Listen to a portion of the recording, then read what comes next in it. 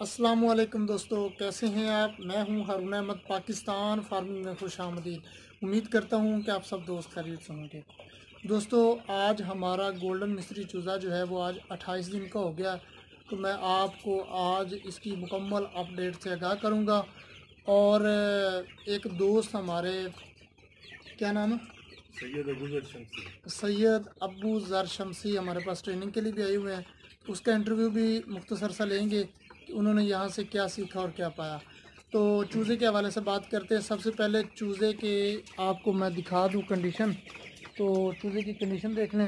الحمدللہ چوزا جو ہے وہ آپ سب دوستوں کی دعاؤں سے ماشاءاللہ ٹھیک ہے۔ اور یہ دیکھ لیں چوزے کی کنڈیشن چوزا فریش ہے اور وزن جو ہے یہ ایک سو پچاسی گرام جو ہے وہ وزن تقریباً اوسطن وزن کر چکا ہے۔ اور اٹھائیس دن میں یہ سات بوری آج شام تک یہ مکمل کر چکا ہے، پوری سات بوری۔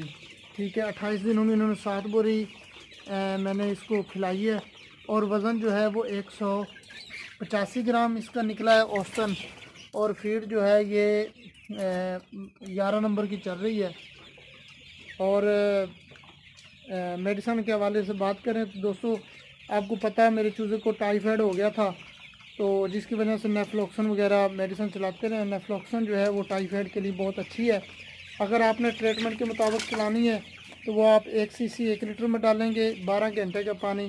اگر آپ نے ویسے دینی ہے تو وہ آپ ڈالیں گے احتیاطاً دینی ہے تو وہ آپ ایک سی سی جو ہے وہ دو لیٹر میں ڈالیں گے۔ اور موٹیلٹی کے حوالے سے بات کریں بخار تھا چوزے کو۔ تو جس کی وجہ سے موٹیلٹی جو ہے وہ ہماری تیس پینتیس زیادہ ہو گئی ہے۔ اور اور اس میں بی گریڈ چوزا بھی آ گیا تھا۔ تو جس کی وجہ سے ٹوٹل موٹیلٹی جو ہے وہ اب تک پچاسی سے اٹھاسی ہوئی ہے۔ اور تین دن سے الحمدللہ چار دن سے اب تک کوئی موٹیلٹی نہیں ہو رہی۔ تو تعارف کراتے ہیں ہم آپ کو بھائی ابو ذر کا۔ السلام علیکم جی۔ جی کیسے ہیں؟ خیریت ہے جی سب خیریت اچھا سنائیں کیا سیکھا آپ نے؟ الحمدللہ کافی کچھ سیکھا ہے یہاں پہ۔ اور اسپیشلی جو فیزیبلٹیز یہاں پہ آ کے پریکٹیکلی خود دیکھ کے جو سیکھی ہے انٹرنیٹ پہ بھی کافی ساری ہیں لیکن ان میں کافی زیادہ فرق ہوتا ہے۔ ٹھیک ہے۔ مطلب کچھ بہت زیادہ بتا رہے ہوتے ہیں کچھ بہت نیچے بتا رہے ہوتے ہیں۔ اب تو یہاں پہ پریکٹیکل کر کے دیکھا ہے نا جی؟ جی بالکل یہاں پریکٹیکل کر کے دیکھا ہے۔ اور ایک پریکٹیکل فیزیبلٹی ہے میرے پاس۔ اچھا۔ تو اب آپ کے لیے یہ کام کرنا مشکل ہے یا آسان ہے؟ الحمدللہ ابھی جو میں نے آبزرو کیا پہلے مجھے مشکل لگ رہا تھا لیکن اچھا۔ یہاں آ کے آبزرو کیا کہ یہ اتنا مشکل نہیں ہے۔ اچھا۔ اب آپ چوزے کا ٹمپریچر جی، کنٹرول جی، کر سکیں بالکل کیونکہ اس میں مین چیز ہوتی ہے ٹمپریچر ہے ٹمپریچر کا بالکل۔ ٹمپریچر ہوتی ہے۔ ویسے بھی یہ دیسی ہے اور اسٹارٹ میں ٹمپریچر کا ہے۔ اور اس کے بعد نہیں ہے۔ اچھا ساتھ ہم نے جو ہے وہ بڑی مرغی بھی ڈالی ہوئی ہے۔ جی جی تو بڑی مرغی کے حوالے سے کیا کہیں گے آپ؟ مجھے وہ کام جو ہے نا جو ابھی ٹائمنگ چل رہی ہے جی۔ اس کے حساب سے مجھے وہ والا کام جو ہے وہ زیادہ بہتر لگ رہا ہے۔ اچھا۔ کیونکہ آگے سردیوں کا سیزن ہے ڈیمانڈ اس چیز کی ہوگی۔ تھوڑا سوچا بولے۔ جی جی اچھا۔ اچھا آپ دوسرے دوستوں کو کیا کہنا چاہیں گے اس ٹریننگ کے حوالے سے؟ کیا ان کو یہ کام سیکھنا چاہیے یا جی، شروع سے اپنے ہی۔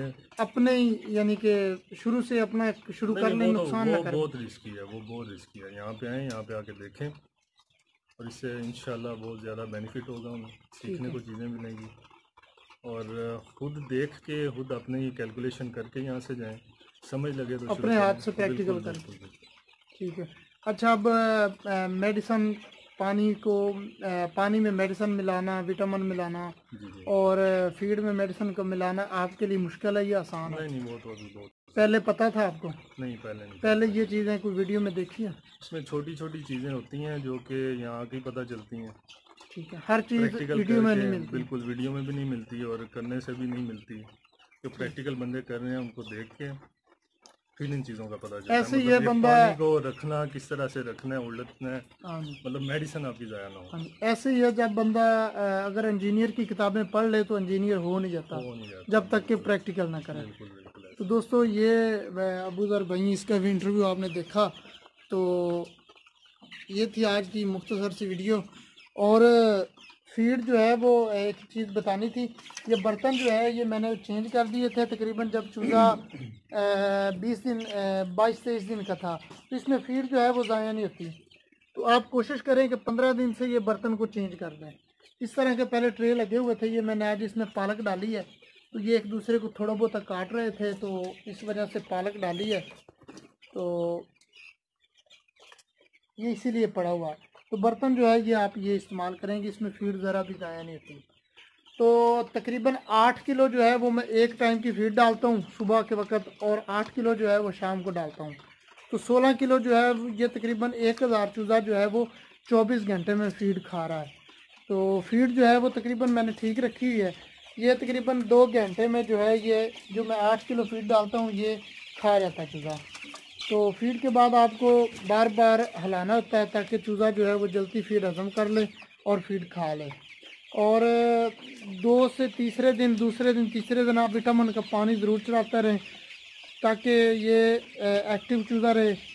کیونکہ وٹامن چلانے کا مقصد یہ ہوتا ہے کہ ایک تو بیماری بہت کم آتی ہے اس کے پاس جب اس کو آپ وٹامن دیتے رہیں گے چوزہ صحت مند رہے گا تو بیماری آپ کی کم آئے گی۔ اور اس کے علاوہ بخار کی جو دوائی ہے، وہ بھی آپ دوسرے، تیسرے دن احتیاطاً ایک آدھا پانی بھر دیا کریں تو یہ بہتر رہے گا۔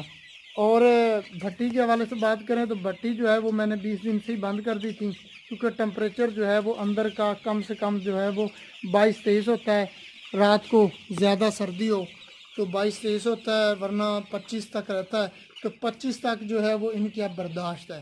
اگر چوبیس، بائیس پہ بھی آ جائے تو یہ برداشت کرتا ہے، کیونکہ ان کے پر دیکھیں یہ ماشاءاللہ۔ پر بڑے ہو گئے ہیں، یہ دیکھیں۔ اس کا پورا جو ہے وہ اوپر پر آ چکے ہیں، تو یہ اپنی، اپنا ٹمپریچر خود بنا لیتا ہے۔ جب یہ ایک دوسرے کے ساتھ مل کے بیٹھتے ہیں، تو ان کا ٹمپریچر جو ہے وہ پورا ہو جاتا ہے۔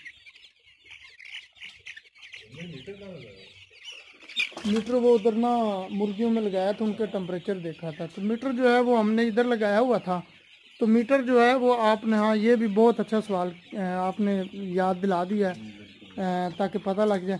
میٹر جو ہے وہ دوستو، آپ نے اس چادر کی طرف لگانا ہے، کیونکہ اس طرف ٹمپریچر جو ہے وہ زیادہ ہوتا ہے، تو اس طرف جو ہے ٹمپریچر کم ہوتا ہے۔